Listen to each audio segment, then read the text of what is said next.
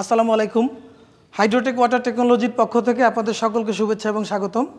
আমরা আজকে আপনাদেরকে দেখাবো যে কীভাবে আপনি একটি পানির ব্যবসা আপনারা করবেন এবং এই ব্যবসায় একটা পানির ব্যবসা শুধু করলেই হবে না, এই আপনি, আপনারা যারা ছোট বোতল এবং বড় বোতলের পানি বিক্রি করবেন, আপনাদের কিছু নিয়ম জানতে হবে, রুলস জানতে হবে। আমরা এখানে একটি সুন্দর চমৎকার ফ্যাক্টরি করে দিয়েছি। এখানে নিচে নিচে টাইলস করা আছে, উপরে সিলিং দেওয়া আছে। একটা একটা গুড ম্যানুফ্যাকচারিং ফ্যাক্টরি বলতে যেটা বোঝায়, এটা পুরোটাই এখানে করা আছে। কিন্তু তারপরে এখানে অনেক কাজ আমাদের এখনও বাকি। সেই কাজগুলো আমাদের করতে কি, কিছু সময় লাগবে। তো আপনারা যারা নতুন ফ্যাক্টরি করতে চাচ্ছেন, তাদের ক্ষেত্রে আমরা একটা গুরুত্বপূর্ণ বিষয় আজকে বলব। সেটা হলো, আপনি একটা ফ্যাক্টরি করার পরে আপনার ফ্যাক্টরি করার সাথে সাথে আপনার বিএসটিআই তো পেতে হবে। Bangladesh Standard Testing Institute BSTI যদি আপনি না পান তাহলে আপনি একটা ফ্যাক্টরি করে আপনার কোনোই লাভ নেই। কোনো লাভ আছে? লাভ নেই। আপনার একটা ফ্যাক্টরিতে বিএসটিআইয়ের কিছু নিয়ম আছে। বিএসটিআই যখন আপনি পেতে চাইবেন, তখন এখানে কিছু রুলস আছে। হ্যাঁ এই এই রুলসের প্রথমে যদি আমরা বলি যে drinking water mineral water BSTI license পাওয়ার জন্য প্রয়োজনীয় কী কী কাগজপত্র লাগবে? এক নম্বর কাগজপত্র হলো কারখানার হালনাগাদ ট্রেড লাইসেন্স আপনার, আপনি যখন একটা ফ্যাক্টরি করবেন, আপনার ফ্যাক্টরির ট্রেড লাইসেন্সটা আছে কি না ট্রেড লাইসেন্সটা আপনার থাকতে হবে। দু নম্বর ব্যাপার হলো আপনার হালনাগাদ স্বাস্থ্য সনদ এবং আপনার এখানে যারা চাকরি করবে, মনে করেন এই এই লোকগুলো এখানে চাকরি করছে। এই যারা চাকরি করবে, এদের প্রত্যেকের শরীর ঠিক আছে কি না এদের শরীরে কোনো রোগ আছে কি না একটা একটা হসপিটাল সদর হসপিটাল বা একটা সরকারি হসপিটালে গিয়ে এদের প্রত্যেকের হেলথ সার্টিফিকেট নিয়ে আসতে হবে।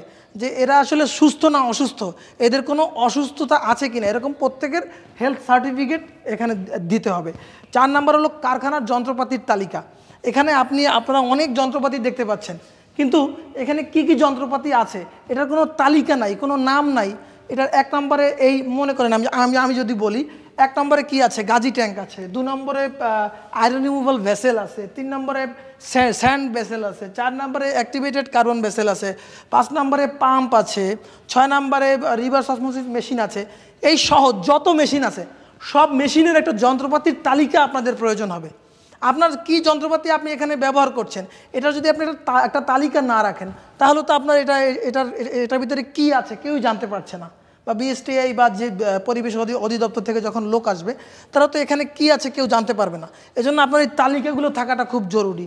এরপর হলো আপনার process flow chart process flow চার্টটা হলো ডিজাইন যে এই ফ্যাক্টরিটার কোথায় কি আছে একটা ডিজাইন করতে হবে। যে এখানে এই পর্যন্ত দশ ফিট বাই বিশ ফিট হলো আহ, পানি ফিল্টার বিশ বাই দশ হলো ওয়াটার বোটলিং মেশিন আবার দশ বাই পনেরো হলো বোতল ফুলানো মেশিন এভাবে কোন মেশিনটা কোন জায়গায় আছে, এরকম একটা প্রসেস ফ্লো চার্ট করতে হবে। এবার হলো স্থানীয় প্রশাসন হতে অনাপত্তিপত্র। এখানে আপনাদের যারা ফ্যাক্টরিটা করছেন ফ্যাক্টরির মালিক, তাদেরকে এই এটা যদি ইউনিয়ন পরিষদ হয়, তাহলে চেয়ারম্যান সাহেবের কাছ থেকে একটা সার্টিফিকেট আনতে হবে যে আমরা এখানে ধামরাইতে হাদি ফুড অ্যান্ড বেভারেজ নামে একটা কোম্পানি করছি। এই কোম্পানিতে আমরা অনাপত্তিপত্র চাচ্ছি। তখন ওনারা আপনাদেরকে একটা অনাপত্তিপত্র দিবে যে অমুক হাদি ফুড অ্যান্ড বেভারেজ এখানে এই এই কোম্পানিটা বা এই প্রজেক্টটা করলে আমাদের কোনো আপত্তি নেই। এরকম একটা অনাপত্তিপত্র আপনাদের নিতে হবে। তারপরে হলো আপনার ট্রেডমার্ক রেজিস্ট্রেশনের কপি আপনি যে হাদি ফুড অ্যান্ড বেভারেজ আমরা যদি একটু কাছে দেখাই, মনে করেন এইটা আপনার লোগো এইটা আপনার একটা ট্রেডমার্ক এই ট্রেডমার্কটা ট্রেডমার্কটা রেজিস্ট্রেশন করা কিনা এই ট্রেডমার্কটা আপনি শিল্প মন্ত্রণালয় থেকে শিল্প মন্ত্রণালয়ে গিয়ে এই ট্রেডমার্কের আন্ডারে আপনাকে রেজিস্ট্রেশন আনতে হবে যে এই ট্রেডমার্কটা, এই নামটা যেন অন্য কেউ কোনো দিন আর ব্যবহার করতে না পারে। এরপরে আপনাকে আনতে হবে কারখানায় স্থাপিত পরীক্ষাগারে পরীক্ষা নিরীক্ষা এবং কেমিক্যাল রিয়েজেন্টের তালিকা। তো আমরা যদি দেখাই যে আমাদের যে কারখানাটি আছে কারখানায় আমরা আমরা ট্রিটমেন্ট করার জন্য যে যন্ত্রপাতিগুলো ব্যবহার করছি সেগুলো একদম ওই মাথায় ল্যাবের, ল্যাব রুম এখনও ল্যাব রুম তৈরি হয়নি। ল্যাব রুমে আমরা ল্যাবরেটরি কিছু যন্ত্রপাতি আমরা রেখেছি। এই যন্ত্রপাতিগুলোর তালিকাগুলো যন্ত্রপাতিগুলোর নাম, তালিকা এক নম্বর, দুই নম্বর দিয়ে প্রত্যেকটা নাম আলাদা আলাদা করে এখানে রাখতে হবে। আমি যন্ত্রপাতিগুলো একটু দেখিয়ে আসি। এখানে কারখানায়, কারখানার যত যন্ত্রপাতি, এগুলো তো লাগবেই। আপনি, আমরা এখনও পরীক্ষাগারটা এখনও রেডি করিনি। পরীক্ষাগারের কাজ চলছে। আপনার একটা পানির ফ্যাক্টরি করতে গেলে দুটো পরীক্ষাগার লাগবে। একটা মাইক্রোবায়োলজি একটা কেমিক্যাল আমি যদি ক্যামেরাটা উপর থেকে দেখাই, যে এখানে যদি আমি এসে দেখাই, যে আমরা কিছু যন্ত্রপাতি এখনও রেডি করতে পারিনি। যন্ত্রপাতির কাজ এখনও চলছে। এখানে কারখানার যে আমরা পানি যে পরীক্ষা করব পানি পরীক্ষা করার জন্য ইনকিউবেটর অটোক্লেভ তারপরে অনুবীক্ষণ যন্ত্র, তারপরে আমরা যে বিভিন্ন রিয়েজেন্টগুলো ব্যবহার করব, এই রিয়েজেন্টগুলোর ডেট আছে কি না তারিখ আছে কি না এক্সপায়ারি ডেট ঠিক আছে কি না এই যন্ত্রপাতিগুলোর এই যে আমরা অনুবীক্ষণ যন্ত্রগুলো ইউজ করছি বা আমরা যে বাফার দ্রবণগুলো ইউজ করছি, এগুলোর তারিখ ঠিকমতো আছে কিনা এক্সপায়ারি ডেট আছে কিনা এবং এগুলোর প্রত্যেকটার তালিকা আমাদের করতে হবে। আমাদের ল্যাবটা এখনও তৈরি হয়নি, আমরা কাজ করছি। তবে ল্যাবটা খুব তাড়াতাড়ি তৈরি হয়ে যাবে।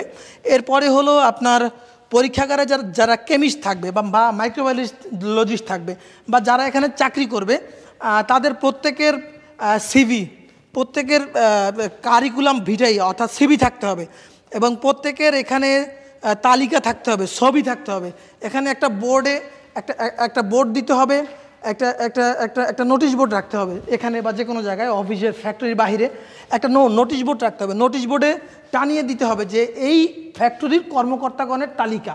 এখানে মালিক অমুক এখানে ম্যানেজার এখানে ইলেকট্রিশিয়ান এখানে কেমিস্ট প্রত্যেকের নামের ছবির তালিকা সহ এখানে টানিয়ে রাখতে হবে। তারপরে হলো কারখানায় ব্যবহৃত ওজন এবং পরিমাপক যন্ত্রপাতির ক্যালিব্রেশন সার্টিফিকেট ক্যালিব্রেশন সার্টিফিকেটটা আপনারা অবশ্যই জরুরি। যে কোনো মেশিন চালানোর আগে এটা ক্যালিব্রেট সার্টিফিকেটটা ঠিকমতো আছে কি না এই জিনিসটা ভালোভাবে পরীক্ষা করে নিতে হবে। এরপরে হলো, সংশ্লিষ্ট বাংলাদেশের মান এবং স্ট্যান্ডার্ড অনুযায়ী ওজন বিধিমালা দুই অনুযায়ী সার্বিক তথ্য সংবলিত লেভেল আপনি যে একটা জার করবেন, আপনার, আপনি যে জার পানি বিক্রি করবেন, আপনার পানির নাম কি? হাদি ফুড অ্যান্ড বেভারেজ এরকম একটা এটা একটা লেবেল লাগিয়ে দিতে হবে। পানিতে কি কি জিনিসপত্র আছে, এগুলো এগুলো লিখে রাখতে হবে। এগুলো এখানে লিপিবদ্ধ রাখতে হবে। এরকম তথ্য সংবলিত আপনার লেবেল থাকতে হবে। এরপরে হলো আপনার পরিবেশ অধিদপ্তরের ছাড়পত্র। আপনি যে এখানে ফ্যাক্টরিটা করছেন, এই ফ্যাক্টরিটা করার ফলে আপনার এখানে পরিবেশের কোনো ক্ষতি হচ্ছে কিনা? পরিবেশ দূষণ করছেন কিনা? এই জন্য আপনি এই স্থানীয় যে পরিবেশ অধিদপ্তর আছে, এখানে আপনারা গিয়ে একটা আবেদন করবেন। আবেদন করে পরিবেশ অধিদপ্তরকে বলবেন যে, আমরা এখানে একটা ফ্যাক্টরি করতে চাই, ওরা, আমরা আবেদনপত্র চাই। বা আমরা আবেদন করব। আবেদন করলে ওরা ওদের ইন্সপেক্টর এখানে আসবে, এসে তারা দেখে যাবে যে, এই এই হাদি ফুড অ্যান্ড বেভারেজের মাধ্যমে যে যে পরিবেশের কোনো ক্ষতি হচ্ছে না, এটার মাধ্যমে পরিবেশের কোনো ক্ষতি নেই। এই প্ল্যানটা করলে পরিবেশের কোনো ক্ষতি নেই। এজন্য তারা পরিবেশের একটা ছাড়পত্র আপনাদেরকে দিয়ে দিবে। এরপরে হলো আমরা যদি আসি কারখানার লেআউট এই কারখানাটা কত স্কোয়ার ফিট জায়গার মধ্যে হয়েছে, তার একটা লেআউট আপনাকে জমা দিতে হবে। এবার হলো কারখানার লোকেশন ম্যাপ আপনার এই কার- কারখানাটি বাথুলির বাথুলি স্টেশন থেকে হাতের বামে হাদি ফুড অ্যান্ড বেভারেজ এরকম একটা ম্যাপ তৈরি করতে হবে। আমরা যেমন জমির ম্যাপ করি ঠিক একইভাবে আপনার কারখানার একটা লোকেশন ম্যাপ রাখতে হবে। যে বাথুলি এখানে কেবিসি অ্যাগ্রো এখানে, আমার ফ্যাক্টরিটা তার পাশে। এভাবে একটা ম্যাপ দেখাতে হবে, একটা লোকেশন ম্যাপ বানাতে হবে। তারপরে হলো জার এবং বোতল সংক্রান্ত ফুড গ্রেড সার্টিফিকেট আপনি যার কাছ থেকে এই জারগুলো কিনবেন, যেখান থেকে জারগুলো আনবেন, তাদের কাছ থেকে একটা ফুড গ্রেড সার্টিফিকেট নেওয়ার চেষ্টা করবেন। যদি তাদের কাছে ফুড গ্রেড সার্টিফিকেট থাকে তো ভালো। আর যদি ফুড গ্রেড সার্টিফিকেট না থাকে, তাহলে আপনাকে ফুড গ্রেড সার্টিফিকেট বাংলাদেশ বিজ্ঞান শিল্প গবেষণায় এই জারটি জমা দিয়ে ফুড গ্রেড সার্টিফিকেট করে নিতে হবে। ঠিক আছে? এটার ফুড গ্রেড সার্টিফিকেট যদি না থাকে, আপনারা যে যার ইউজ করবেন, অবশ্যই তার ফুড গ্রেড সার্টিফিকেট থাকতে হবে। এটা বিএসটি অবশ্যই চায়। এবার হলো মেশিনের ক্যাপাসিটি সংক্রান্ত কাগজপত্র। যে মেশিনটা আমার এখানে কত কত লিটার পার আওয়ার পানি এখানে বিশুদ্ধ করছে, এই ক্যাপাসিটি সংক্রান্ত কাগজপত্র লাগবে। এবার হলো করণীয় বিষয়। অটোমেটিক জার ওয়াশিং ফিলিং এবং ক্যাপিং ইউনিট থাকতে হবে। এটা হলো অটোমেটিক জার ওয়াশিং ফিলিং এবং ক্যাপিং ইউনিট এখান থেকে জারটিকে অটোমেটিক ঢুকিয়ে দিতে হবে। ঢুকানোর পরে ওয়াশিং হবে ফিলিং হবে। একদম জারের মধ্যে পানি ভরে ক্যাপ লেগে এখান থেকে বের হবে। এজন্য এরকম automatic jar washing filling capping unit আপনার কিন্তু থাকতে হবে। তাছাড়া কিন্তু আপনার বিএসটি আপনি পাবেন না। তারপর হলো প্রসেসিং রুম এখান থেকে আপনি জারটি ঢুকিয়ে দিবেন। এখান থেকে ওয়াশিং ফিলিং ক্যাপিং হয়ে বের হবে। আমরা এখনও এটা চালু করিনি। খুব শীঘ্রই ইনশাল্লাহ এটা চালু করে আমরা আবার বিস্তারিত ভিডিও দিব। এবার হলো আপনি প্রসেসিং রুম এবং ফিলিং রুম আলাদা থাকতে হবে। এটা কিন্তু একটা খুব গুরুত্বপূর্ণ ব্যাপার আমি বলছি। ভালো করে মাথায় রাখবেন। প্রসেসিং রুম এবং ফিলিং রুম আলাদা থাকতে হবে। এ কথার অর্থ হলো, আপনি যেখানে পানি প্রসেস করবেন, এটা হলো প্রসেসিংয়ের জায়গা। এই প্রসেসিংয়ের পুরো এলাকাটাই আপনাকে থাই গ্লাস দিয়ে আটকে দিতে হবে। এই প্রসেসিং রুমে কোনো লোক ঢোকা যাবে না। শুধুমাত্র অপারেটর ছাড়া। এই প্রসেসিং রুমটা আলাদা করে এখানে এই পর্যন্ত আটকে দিতে হবে। আটকে দেওয়ার পরে এখানে ফিলিং রুমটা এই ফিলিং রুম এটা হচ্ছে পানি ভরার রুম পানি ভরার রুমে কোনো লোক ঢুকতে পারবে না। শুধুমাত্র যারা পানি ভরবে, কাজ করবে, তারা ঢুকবে। এটা হলো প্রসেসিং রুমটা এই পর্যন্ত আটকানো থাকবে। আমি আমি এখানে মেশিন দেওয়ার আগে আমরা এখানে আগে মেশিনগুলো সেট করার চিন্তা করেছি যে আগে সেট করি, তারপরে আমরা প্রসেসিং রুম ফিলিং রুম আলাদা করব। এই মুহূর্তে না। এই কারণে আমরা এই জায়গাটা এরকম ফাঁকা রেখেছি। তো এখানে এই প্রসেসিং রুমটা আপনার এই পর্যন্ত আটকে দিয়ে এখানে ইয়া করতে হবে। একটা থাই গ্লাস বা একটা আলাদা চেম্বার রাখতে হবে যাতে পানি যেখানে বানাবেন সেই রুমটা থাকবে আলাদা এবং পানি যেখানে ফিলিং হবে, এই যে যার যার আমরা ফিলিং করছি এখন, আমাদের এই পাশে ছোট বোতলটাও বসবে। ছোট বোতলের আলা- আলাদা থাকবে। এই দুই রুমের মাঝ বরাবর এখান থেকে লোক হাঁটা, হাঁটাহাঁটি করবে। ঠিক আছে? দুইটা আলাদা রুম থাকবে। এরপরে হলো প্রসেসিং রুম এবং এবং ফিলিং রুম আলাদা। এরপরে সবচেয়ে গুরুত্বপূর্ণ ব্যাপার হলো testing and scheme of STI এখানে আপনি স্ট্যান্ডার্ড টেস্টিং করছেন কি না এরকম স্কিমগুলো কাগজপত্রগুলো দিতে হবে। তারপর একটা গুরুত্বপূর্ণ ইস্যু হলো আপনার আমরা যারা বাইরে থেকে চলে আসছি, দেখেন, আমরা বাইরের ড্রেস পরে এখানে ঢুকে পড়ছি। তা এই জিনিসটা কখনোই করা যাবে না। আমাদের এই জায়গাটা একটা রুম করতে হবে। এই ফ্যাক্টরিতে ঢোকার আগে এই ফ্যাক্টরিটাকে এখানে হয় থাই গ্লাস দিতে হবে বা এই এই এই জায়গাগুলোতে থাই গ্লাস দিয়ে আটকিয়ে এখানে একটা রুমের মতো করতে হবে। বাইরে থেকে যারা আসবে, বাইরে থেকে যারা বাইরের ড্রেস পরে আসবে, তারা প্রত্যেকে ওই ড্রেস খুলে, প্রত্যেকে তাদের ড্রেস চেঞ্জ করে, এই ফ্যাক্টরির নির্দিষ্ট ড্রেস থাকবে, মাথায় হেড কাভার থাকবে, যাতে তার মাথার চুল এই ফ্যাক্টরির কোথাও না পড়ে। এটা কিন্তু একটা পানির ফ্যাক্টরি এটা মানুষ পানি খাবে এখান থেকে। এই জিনিসটা খুব সেন্সিটিভভাবে নিতে হবে। আপনি এই জায়গাটায় একটা একটা এমনভাবে করবেন, এই এখানে যেন বাহিরের কোনো ময়লা, আবর্জনা ইত্যাদি যেন এই ফিলিং রুমে না ঢুকতে পারে। এজন্য এখানে আপনি ড্রেস চেঞ্জ করার রুম বা- বা পাশে আপনার ড্রেস চেঞ্জ করার জন্য খুব ভালো রুম রাখতে হবে। Dress changing dress changing facilities থাকতে হবে। হাতে হ্যান্ড গ্লাভস পরতে হবে। পায়ে ফ্যাক্টরির দেওয়া বড় নাগরা জুতা আছে, জুতা পরতে হবে। পায়ে জুতাটা পরার পরে ঠিক এই জায়গাটা একটা ছিদ্র করবেন। এক টাইলস বা দুই টাইলস পরিমাণ ছিদ্র করে এই এই জায়গাটার নিচে টাইলস করবেন। করে এখানে এখানে পানি রাখবেন। এখানে পানি পানি মানে পানিতে ডিসইনফেক্টেন্ট গোলাবেন। স্যাভলন হতে পারে সেটা ডিসইনফেক্টেন্ট গুলিয়ে রাখবেন। বাহির থেকে যখন জুতা পরে লোকটা আসবে, এসে যে কোনো অপারেটর বা যারা কাজ করবে, এসে এখানে তারা পা, পাড়া দিবে। পাড়া দিয়ে তারা তারা তারা পায়ের যে ময়লাটা আছে, এই ময়লাটা পুরোপুরি পরিষ্কার করবে।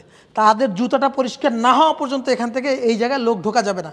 কারণ এখানে একটা গুরুত্বপূর্ণ জিনিস, আপনারা এখানে পানি খাওয়াচ্ছেন মানুষকে। মানুষের খাবার পানি যদি আপনার জুতা, এরকম জুতা দিয়ে আপনি ময়লা করে রাখেন, আপনি ময়লা জুতা নিয়ে যদি এই এই একটা ফ্যাক্টরিতে ঢুকেন, তাহলে এটা তো আপনাদের জন্য বিশাল একটা ক্ষতি হবে, তাই না? তো এই জিনিসটা কখনো করা যাবে না। মানুষকে আপনি পানি খাওয়াবেন, অবশ্যই এই জিনিসটা মাথায় রাখতে হবে যে এই এই জায়গায় চেঞ্জিং রুম রাখতে হবে। চেঞ্জ রুমের মাধ্যমে ড্রেস চেঞ্জ করে, এই বাহিরের সব ড্রেস খুলে ফেলে।